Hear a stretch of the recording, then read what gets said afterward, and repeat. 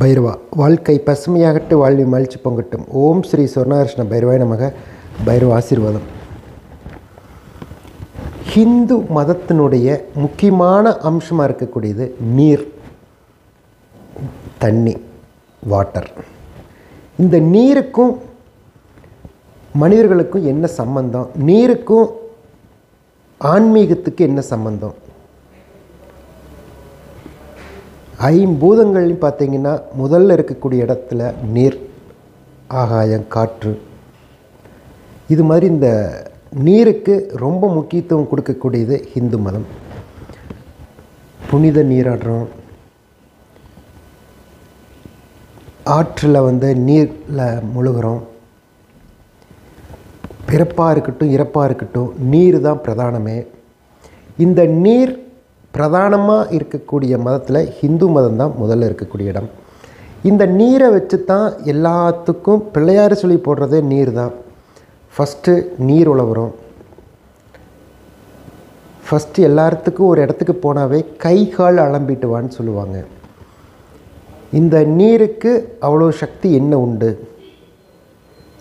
நல்லதாக இருந்தாலும் நீர் பயன்படுத்துகிறோம் கெட்டதாக இருந்தாலும் பயன்படுத்துகிறோம் அழுக்கு கழுகுறக்கு நீரை பயன்படுத்துகிறோம் முகத்தை கழுகுறக்கு பயன்படுத்துகிறோம் உடல் ஆரோக்கியத்துக்கு நீர் முக்கியமாக இருக்குது டாக்டர் கூட்டம் சொல்கிறதே நீர் நல்லா தண்ணி குடிங்கன்னு சொல்கிறாங்க உடலை சுத்தப்படுத்துது மனசை சுத்தப்படுத்துது உடல் அழுக்க சுத்தப்படுத்துது. எல்லாத்துக்கும் பிரதானமே நீர். இந்த நீர் பொறுத்த வரைக்கும் ஆன்மீகத்துக்கு என்ன சம்மந்தம் தெய்வ கடாச்சங்களுக்கு ஒரு அபிஷேகமாக இருந்தால் நீர். இந்த நீரை வச்சே இப்போ ஒரு படமே வந்திருக்கு. அந்த நீர் அப்படிங்கிறது மிகப்பெரிய சக்தி மனிதர்களுக்கு என்ன சம்பந்தம்? முதல்ல நம்ம வந்து எந்த ஒரு துவக்கமாக இருந்தாலும் கை கால் அலம்புற விஷயம் நீருக்கு உண்டு. நீர் அலம்பணும்னு சொல்லுவாங்க. ஃபஸ்ட்டு நம்மளை சுத்தப்படுத்திக்கிறது அந்த நீரையே புனிதமாகக்கூடிய சக்தி ஆன்மீகத்துக்கு உண்டு. அந்த நீர் நமக்கு ஆகாயத்தை கொடுக்கக்கூடிய சக்தி நீரில் இருக்கக்கூடிய சக்தி எதுலேயுமே கிடையாது. தண்ணி குடித்துட்டு வாழ்ற வாழ்கிறவங்களாம் நிறைய மகான்கள் இருக்காங்க. நாம் இந்த நீரை வச்சு என்னெல்லாம் நம்ம ஆன்மீகத்தில் உள்ளக்கூடிய சக்தி என்ன? ஃபஸ்ட்டு பிரதானமே ஒரு திதி கொடுக்கறதா இருந்தால் கூட ஒரு இறந்த உணவுங்களுக்கு திதி கொடுக்கறதா இருந்தால் கூட நீரை வச்சு தான் நம்ம பிரதானப்படுத்துகிறோம் நீர் தான் உள்ளாங்கைக்குள்ளே ஃபஸ்ட்டு வைக்கிறோம். அது வாயில் போட்டுக்கிறோம் நெத்தியில் போட்டுக்கிறோம் தலையில் கொட்டிக்கிறோம். எவ்வளோ பெரிய தீட்டாக இருந்தாலும் நீர் உடம்புல பட்டால் அந்த தீட்டு கழிஞ்சு போயிடுங்கிறது ஐதீகம். இந்த நீரை பொறுத்த வரைக்கும் ஒவ்வொருத்தரும் பிரதானமே. நீர் பூஜைங்கிறது நீர் அப்படிங்கிறது தண்ணி தண்ணியில் பூஜை செய்கிறது ரொம்ப விசேஷம். அதில் தான் பார்த்திங்கன்னா அந்த நீருக்குள்ளே லெமனை போட்டு வீட்டுக்கு முன்னாடி வைக்கிறது. ஒரு பாத்திரத்தில் நீரை ஊற்றி தண்ணி ஊற்றி பூ போட்டு வைக்கிறது. இது மாதிரி ஒவ்வொரு கடமைகளும் ஒவ்வொரு இடமும் நீர் போட்டு வைக்கிறதுக்கு பிரதானம் உண்டு. இந்த நீரை நாம் என்ன பண்ணுறோம் ஒரு திதி கொடுக்குறோம் உடம்பை சுத்தம் பண்ணுறோம் உடலை சுத்தம் பண்ணுறோம் மனதை சுத்தப்படுத்துகிறோம் தீட்டு களையக்கூடிய சக்தி இந்த நீருக்கு உண்டு. ஃபஸ்ட்டு நல்லதாக இருக்கட்டும் கெட்டதாக இருக்கட்டும் குளிப்பாட்டணும்னு சொல்லுவாங்க. ஒரு தெய்வத்தை அபிஷேகம் பண்ணுறது நீர் அபிஷேகம் மஞ்சள் தண்ணி அபிஷேகம் எல்லாத்துக்கும் பிரதானமே நீர் தான் இந்த நீர் ஒவ்வொருத்தரும் வீட்டில் ஒரு ஸ்பூன் மஞ்சத்தூளை போட்டு வீட்டில் பூஜை அறையில் ஒரு ஸ்பூன் மஞ்சத்தூள் போட்டு பூஜை அறையில் வைக்கிறது ரொம்ப விசேஷம் நம்பர் ஒன் நம்பர் டூ வீட்டுக்கு முன்னாடி நீரில் பூ போட்டு வைக்கிறது நிலவுகள்லேயே வச்சுருப்பாங்க சில பேர். அது ரொம்ப திஷ்டியை போக்கும். திஷ்டியை போக்கும். பூஜ் ரூமில் நீரில் வந்து மஞ்சத்தூள் போட்டு வைக்கிறதுனால லக்ஷ்மியை க்ரியேட் பண்ணும். லக்ஷ்மியை உள்ளே கொண்டு வரும். லக்ஷ்மி தங்கக்கூடியது இந்த நீர் உண்டு. அதே மாதிரி திதி. திதி பொறுத்த வரைக்கும் ஒவ்வொருத்தருடைய நம்ம மூதாதைகள் இறந்துட்டோம்னா திதி கொடுக்குறதே நீர் தான்.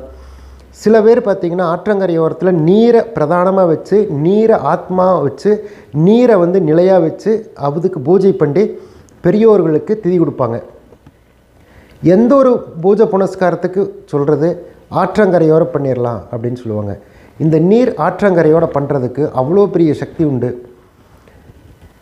பூஜ் ரூமில் மட்டும் வைக்கிறது இல்லை நிலவுகள் வைக்கிறது மட்டும் இல்லை.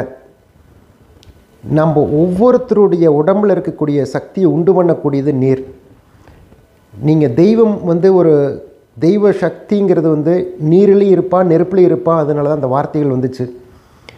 நீர் உயிர் ஓட்டம் உள்ள ஒரு திரவியங்கள் தான் நீர்னு சொல்கிறோம் நீருக்கு ஒரு உயிர் ஓட்டம் உண்டு. அந்த உயிர் ஓட்டத்தை பூஜைகள் மூலிமா பிரதானப்படுத்தி நீங்கள் ஒன்றுமே இல்லையா எந்த இடமே இல்லையா நீர் கையில் எடுத்து மனசில் உங்கள் குலதெய்வத்தை ஏதாவது ஒரு தெய்வத்தையே பிரார்த்தனை பண்ணி ரெண்டு கண்ணிலையும் ஒத்திட்டு மேலே வச்சு பாருங்கள் இதே பெரிய உயிர் சக்தி கொடுக்கக்கூடியது அந்த நீர்.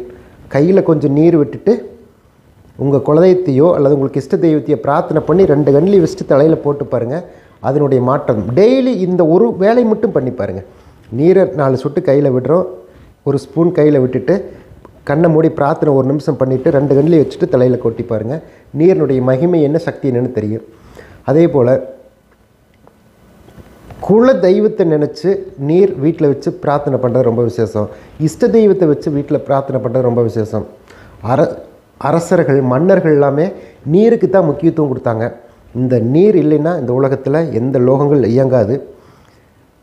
எந்த பிறவியும் இந்த நீர் இல்லைன்னா இயங்காது.